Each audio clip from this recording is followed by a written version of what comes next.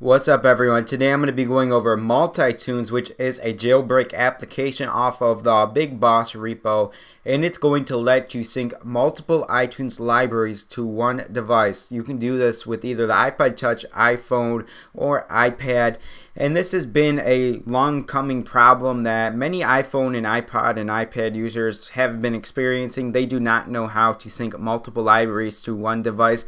This is an easy way to fix it and basically it will separate all your libraries as you see on the screen right now. You'll have a default library and then any other computer's library you add you'll have to add it under additional libraries and none of your music will ever be deleted off the device. So if you go back here, we'll see I'm in my default library and we'll have all my music load up. So let's hold on here and here we go. I'm gonna go ahead and click songs and as you see here I have all my songs on this um, library right here and say I want to switch to another library like desktop which I currently have no music on. If I switch I'm actually going to be able to sync my um, music to the desktop library and none of my music in my default library will be deleted.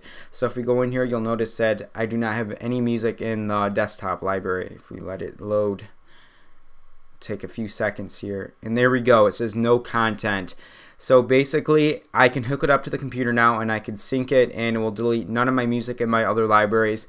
The only downside to this is that it doesn't let you combine all the libraries together. So if I wanted to have all my music together, I'm not going to be able to do that, unfortunately.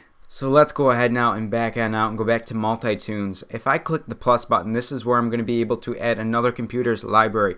If I formally tried adding another computer's library to my um, device, then it will tell me that I have to delete all my music and content off before I do so. This is basically a get around because you're tricking your iPod into thinking the library is empty. So if you would like to delete a library, click the edit button at the top left hand corner and you could actually delete the library or rename it. And that's about all. It's just easy like that. So guys, tell me what you think about MultiTunes in the library below. It's a free application.